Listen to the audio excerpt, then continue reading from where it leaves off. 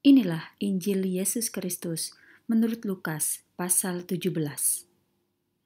Beberapa nasihat. Yesus berkata kepada para pengikutnya, Pasti ada yang membuat orang untuk melakukan dosa. Tetapi celakalah orang yang dengan perantaraannya hal itu terjadi. Lebih baik dia dibuang ke laut dengan batu pemberat diikat pada lehernya daripada ia menyebabkan orang lemah ini berbuat dosa.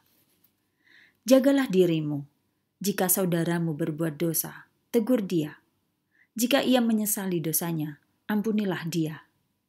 Seandainya ia kembali berbuat dosa terhadapmu tujuh kali dalam satu hari, kemudian dia kembali kepadamu tujuh kali dan berkata, Aku menyesal. Ampunilah dia. Berapa besar imanmu? Rasul-rasul itu berkata kepada Tuhan, "Tambahilah iman kami." Tuhan mengatakan, "Seandainya kamu mempunyai iman sebesar biji sesawi, kamu dapat mengatakan kepada pohon murbei ini, tercabutlah dari tanah dan tertanam di laut, dan pohon itu akan taat kepadamu. Jadilah hamba yang baik Seandainya salah seorang dari kamu mempunyai hamba yang membajak di ladang atau menjaga domba, apabila ia pulang dari ladang, apakah engkau akan berkata kepadanya, "Masuklah dan duduk untuk makan"? Tidak, engkau akan mengatakan kepadanya, "Siapkan dahulu makan malam buat aku. Bersiaplah, layani aku di meja makan." Bila aku sudah selesai, engkau boleh makan dan minum Apakah engkau mengucapkan terima kasih karena ia melakukan yang diperintahkan kepadanya? Seharusnya kamu juga begitu.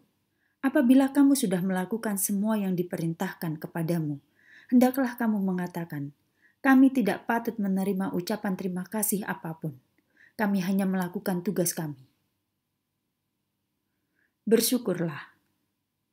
Ketika Yesus berangkat menuju Yerusalem, ia berjalan mengikuti perbatasan antara Samaria dan Galilea. Ketika ia mau memasuki sebuah desa, ada sepuluh orang berpenyakit kusta menemui dia. Mereka berdiri agak jauh dan berkata dengan suara nyaring, Yesus, Tuhan, kasihanilah kami. Ketika ia melihat mereka, ia berkata, Pergilah, tunjukkan dirimu kepada imam-imam. Sewaktu mereka pergi, mereka menjadi sembuh. Ketika seorang dari mereka melihat bahwa ia sudah bersih, ia kembali sambil memuji Allah dengan kuat. Ia menyembah di depan kakinya dengan mengucapkan terima kasih kepadanya. Ia adalah orang Samaria. Yesus mengatakan, sepuluh orang telah disembuhkan, di mana sembilan orang lagi? Apakah tidak ada satu orang pun dari mereka kembali untuk memuji Allah kecuali orang asing ini. Kemudian dia berkata kepadanya, "Berdirilah, engkau dapat pergi. Engkau telah sembuh karena engkau percaya." Kerajaan Allah ada dalam dirimu. Beberapa orang Farisi bertanya kepada Yesus, katanya, "Kapan kerajaan Allah akan datang?" Jawab Yesus, kerajaan Allah akan datang, tetapi tidak dalam tanda-tanda yang dapat kamu lihat dengan matamu. Orang tidak akan mengatakan, "Kerajaan Allah ada di sini" atau "ada di sana". Tidak, kerajaan Allah ada di tengah-tengah kamu.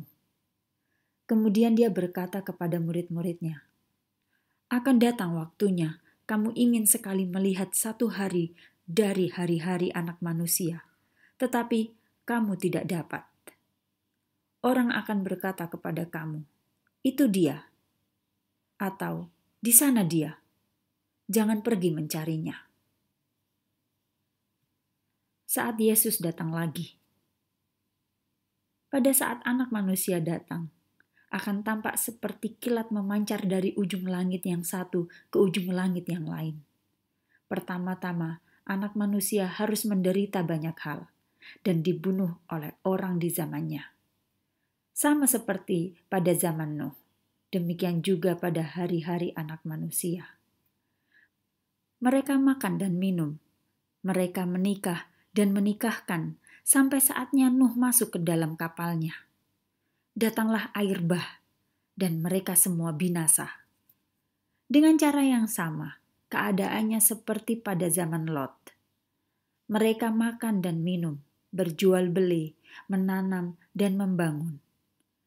Pada hari Lot keluar dari kota Sodom, api dan belerang jatuh dari langit seperti hujan, serta membinasakan mereka semua. Keadaannya akan sama seperti itu apabila Anak Manusia datang kembali. Pada hari itu, jika ada orang di atas atap dan barang-barangnya ada di dalam rumah, sebaiknya ia tidak lagi pergi ke dalam untuk mengambilnya. Begitu juga, jika ada orang di ladang, janganlah ia kembali ke rumah. Ingatlah yang terjadi pada istri Lot. Orang yang mencoba menyelamatkan hidupnya akan kehilangan hidupnya, tetapi orang yang memberikan hidupnya akan menyelamatkannya. Aku berkata kepadamu pada malam itu, dua orang yang ada di tempat tidur yang sama, yang satu akan dibawa, sedangkan yang lain ditinggalkan. Ada dua perempuan sedang menggiling padi bersama, yang satu dibawa, yang satu lagi ditinggalkan. Begitu juga dua pekerjaan di ladang, yang satu dibawa dan yang lain ditinggalkan. Murid-murid bertanya kepadanya, "Di mana akan terjadi itu, Tuhan?" Jawabnya, "Di mana ada mayat, di sana burung pemakan daging berkumpul."